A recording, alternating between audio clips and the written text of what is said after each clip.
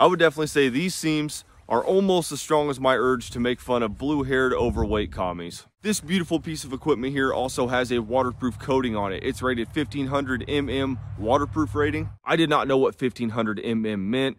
Shocker, I know. I had to have a long talk with my buddy Google this morning and it says that there is no internationally recognized standard of what waterproofing means. 1500 mm is thought to be the minimum waterproofing and they say it can handle most conditions. And I hate to say it's made in commie loving China, for God's sakes.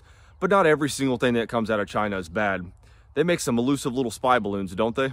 While I finish running my cock holster about the specs of this guy, I'm gonna go ahead and put this on, break up some of the monotony of this video. The description says that it's not made for people underneath 5'6". Keep your head up short, kings. This world just wasn't made for us. Why do I feel like this is something Kanye West would wear like every day? Look at this.